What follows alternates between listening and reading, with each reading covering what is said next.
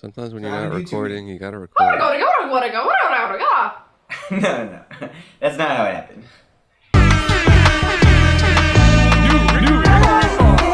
This could be something. You know we can run. He got Seen the show Black Jesus?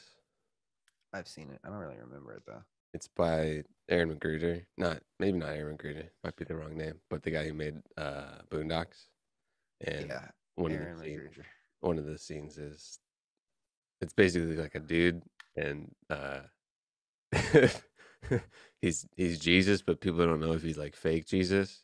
Is, is he's done miracles a couple times, I think. But he's you know he's just Jesusing around, and I think it, it's set in Compton. I didn't know Aaron McGruder made that. oh yeah, Is he in it? um, I don't think so. I don't know what Aaron like- McGruder looks like, but He's like a pretty young guy, I think. Uh, let's see this man. I've never actually seen him. No, he's not in it. McGruder is McGruder, the D. 47. That's pretty old from the Not- screenshots I'm looking at, dude. Not young, not young, but yeah, he he looks young as heck, dude. what I meant to say was I think he started the Boondocks when he was young. Holy moly, he does not look. I mean, I guess He's very- 47. You kind of he looks like he could be. This guy drinks his water. He looks like he could be like my my younger brother. I obviously need to get back into the comics Dude, look at this. Look at this guy. He is. He was on C-SPAN, dude. He, he might be immortal. He might be one of those cats who was born in like 1901. He shows you a picture of. comic, right? I don't know. I think it was. Sony re- Return of the Boondocks with creator Aaron McGruder. He was 22. Wait, what? Yeah, Came out, I guess, 20 years ago. 2000. came out in '96. 96. Dang, I was Yeah. watching it. When was I watching it? It was a comic strip first. Oh, really? Until uh, it was a comic strip until 2005. It might still be a comic strip. Fire comic, dude. This show started in 2005 by Cartoon Network. 2005 to 2014. And There's Black Jesus 2014 and 2019. That's a long run for Black Jesus. I know. I wonder where he lives. Well, he was born in Chicago, Illinois on a dark, dark, stormy day to parents. Oh, here we go. Under personal life, as of 2013, McGruder is residing in Los Angeles. So that answers that. But that was also almost 10 years ago. The sentence. Thing. If anyone knows what Aaron's up to, let us know. we could probably reach out and get him on the pod. Probably. I'm sure there's like a like 10% of people that watch the Boondocks that Boondocks that thought of that inquiry, but like haven't done it. But he's just like there, like down.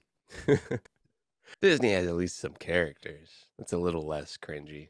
They all have, um, they're not all of them, but like no one's like, yo, I'm a fucking I'm Warner. Brothers person. I was talking about like, like, people with like clothing. At least with at least with Disney's last name, there's like shows you can get invested in yeah, right. a lot of like. belt. I was I was driving through Hollywood last night. California? was yes, no Florida. Okay. I was thinking like Disney uh used to be like a small company, very small. No one really knew them, right? As most companies start. At what point? When they got six billion dollars from VC.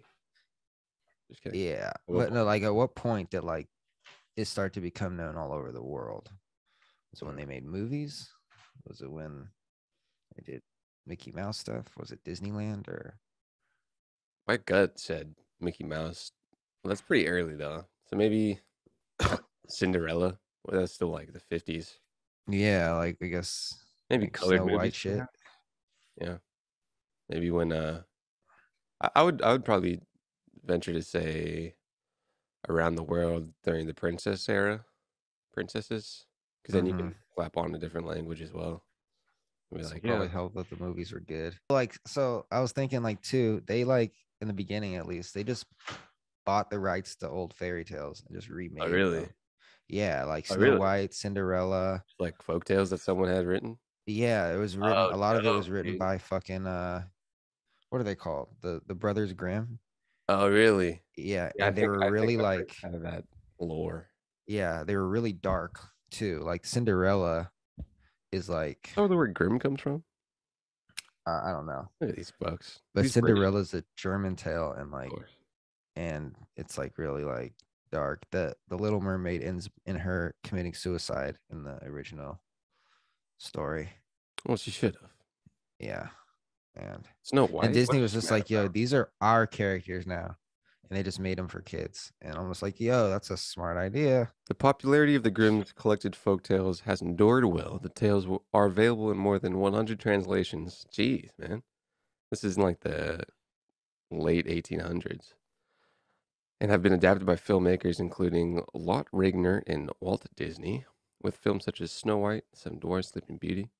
In the mid 20th century, the tales were used as propaganda by Nazi Germany. Later in the 20th century, psychologists such as Bruno Bettelheim reaffirmed the value of the work in spite of the cruelty and violence in the original versions of some of the tales which the Grimms eventually sanitized. Who do you think, realistically, who do you think honestly has like the best military tech, like the smartest, the most advanced?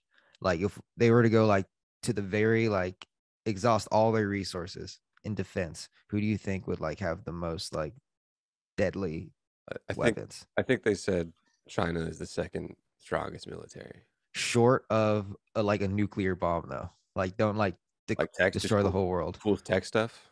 Like I'm talking like deploying Iron Man suits and shit. Um, like who is like the most advanced shit. I think I yo I think we do. I, I would I would probably lean and say America has cool tech for military, but also I also I think know. like at some point, like if it got bad enough, like Jeff Bezos and Elon Musk would be like, okay, I'm turning our, our fucking factories into weapons factories or some Uh, shit. And then I all don't know the if they care. I mean, they do have a lot invested in America. they But I could don't, I don't I don't know if these companies would be like, all right, it's wartime. So like we're in a hot war now. that there's- happened though. There's bloodshed, and these companies are like, yo, I'm picking to really back up America. I mean, Tesla has Chinese business.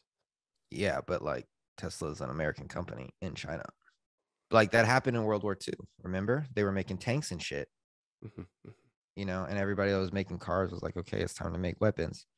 And like people were thinking like at the beginning of the pandemic that Trump was gonna make uh companies start to make ventilators because there's like a some law that like says he can like do that for like defense or some shit. Wartime where everything, you guys have to do everything. Yeah. But like I think I do think that uh I do think if it needed to get to that point, Jeff Bezos and Elon Musk would be fine with it because they seem pretty patriotic.